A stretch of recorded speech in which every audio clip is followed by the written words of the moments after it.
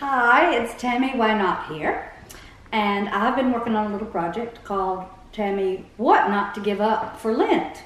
And um, I'm sitting here with Leah Thorn, and uh, we just worked on a little project, which uh, you will hear about a little bit later. Um, but uh, I asked Leah what she didn't want to give up, and she said passion. So I wanted to talk to her about that. So, what do you mean by that, Leah? What's your passion? My passion is I have many passions. Ah, I But a feeling. Yeah, I have many passions. I think the one I was thinking of because we've been working with older women. My passion is for us as older women to really come into our own at this stage of our life. So I'm just doing everything I can at the moment to make that possible, bringing older women together and also just showing the world who we really are as older women. Well, you've been doing that in lots of different ways. 'cause I have. I've been hearing about your projects. Mm. Can you tell us about one or two of your projects? Yes, well, so here in Folkestone we had a pilot project of Older Women Rock, which is the name uh, that I gave to the whole project. And um, there were different parts of that. We had a, a Zumba Gold flash mob in the town centre. What did that look like? It looked it looked wild and it looked a little bit sad because it was a snowy day, so there weren't many people in the in the shopping precinct. But the idea was that we were going to be right in the heart of Folkestone, you know, in the middle of all the, the big stores, and we were just going to have this huge intervention where we did our Zumba Gold number, which kind of went like that. um, and there was about 22 of us, all over Wow. sort of 58, 59, sort of into our early 70s. Um, yeah, we got into the local papers, and the idea was to promote older women rock and what was coming. And what was coming was for three weeks, I ran a, an older women rock pop up shop, and which was full of clothes that had my poetry on it. And each of the poems was about an issue that affects us as older women. Hmm. So things like being a carer, um, which affects a lot of older women, either for a partner or a parent, grandchildren. Um, eh, things like um, the beauty industry and how it impacts how we feel about ourselves, and everyone sort of telling you you shouldn't have grey hair, you know, you shouldn't have lines. So there was a poem about that. A poem about how we disappear in the media when we hit 45 or 50 Oh, that's the truth.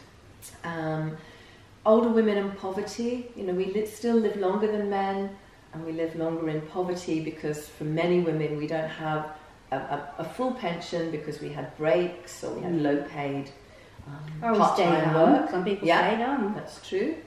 Um, and I'm very committed to working with women in prison, and I wanted older women in prison to have a voice. So there was a, a poem, actually, it wasn't a poem, it was just taking women's words. I went and worked in a prison with older women and I just took their words, and then that went onto a, a piece of clothing.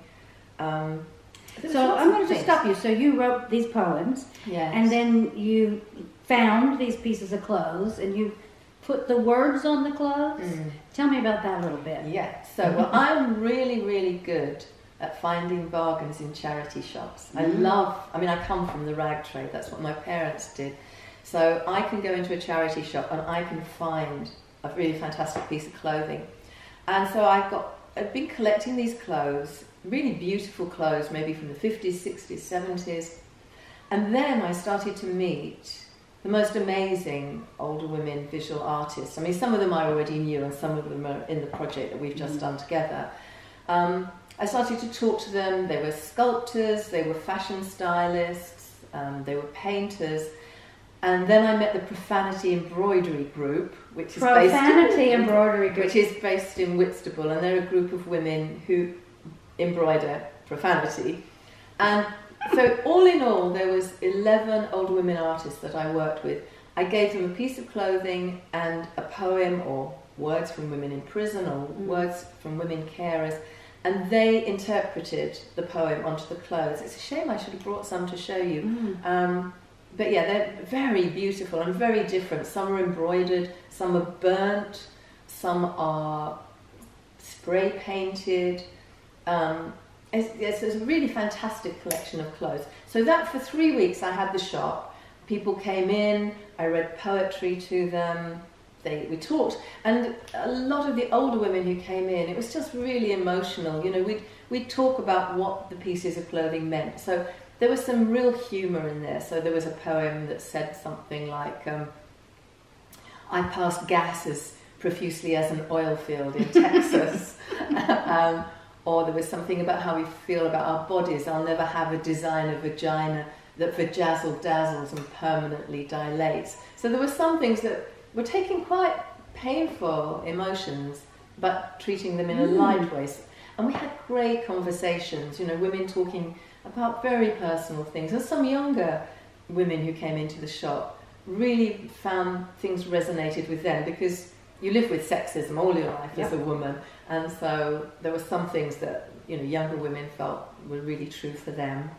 And alongside that was a program of talks and workshops and performances. So, for example, we had one evening which was Women Over 50s Film Festival, which would be great if our film could go into oh, yeah. a Women Over 50s Film Festival.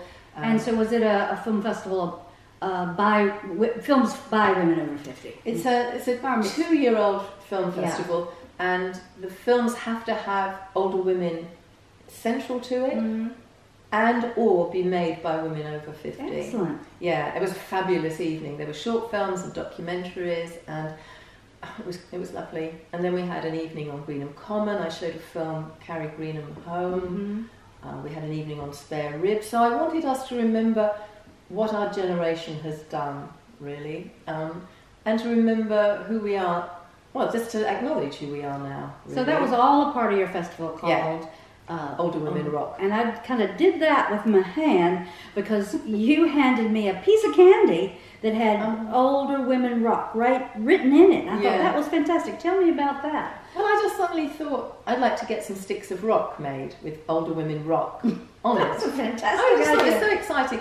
And um, I think a lot of the, the rock the rock makers are up north, mm-hmm. and so I found a really lovely company and they asked me what colour I wanted, so I had this colour pink go nice. through the middle and had a, my, my nail polish kind of colour for the outside of the rock.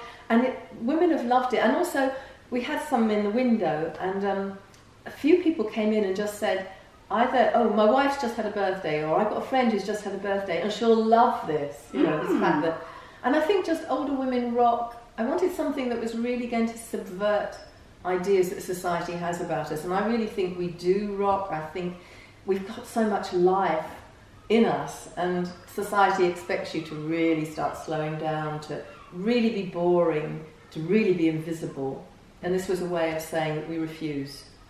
Just refuse. I think that's fantastic. I'm going to ask you one more question, and we'll probably bring this to a close. Uh, what's up next for you? Well, so it has really been, I think it's probably been the most successful work mm. I've ever done. So we're starting to get requests. We did a catwalk, 19 models modelling the clothes, and we've got two requests to do a catwalk in Canterbury and one in Brighton. And I've got three months fellowship at Keele University to develop this. I'm actually going to work on with older women about the emotions attached to all of these issues because mm. I, I firmly believe that no matter what your age actually your life goes better if you have a, a, a space to express feelings and to really be able to address what's going on rather than keep it all in. So for three months, May, June and July, I'll be living on campus in Keele. Fantastic. Yes, I'm really looking forward to that. And then I'm going to be presenting at a couple of conferences, so... So, you're good. rocking, aren't you? Yeah. Well, pay attention to all my listeners out there. Pay attention to Leah Thorn and Older Women Rock. And I'm going to tell you what else. We just finished working on a little film called um, Love Your Lines. And it's part of something that I call public service announcements, where I'm trying to just get stuff out and to tell people what it is to be old and how to live and how to feel better and how to have a good time. So we worked on a film today that was going to be fun. It's based on one of Leah's poems. It's called Love Your Lines. That's what I called it. It's not the title of the poem. I just said Love Your Lines. And so y'all look out for it. We're going to launch a whole bunch of public service announcements in April. So y'all look out for it. And uh, I'll see y'all tomorrow. Thanks. Thank you.